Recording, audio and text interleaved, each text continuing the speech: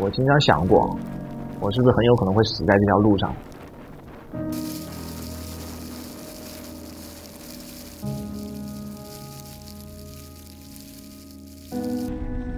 我是走的中部，周围方圆几十上百甚至几百公里，就只有你一个人。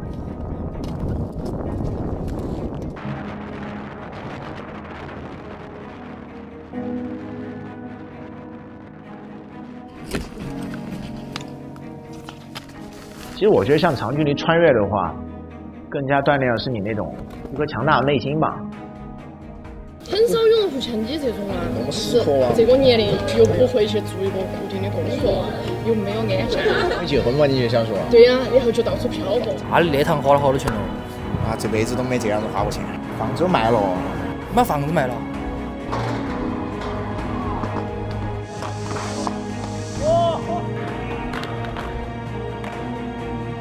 有些可能像你说的话不，早点结婚，记得。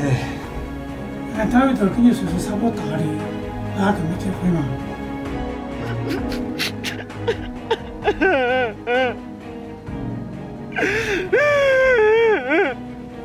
每个人都想做个人啊，你也想，我也想，这些所有人都想，束缚有点大。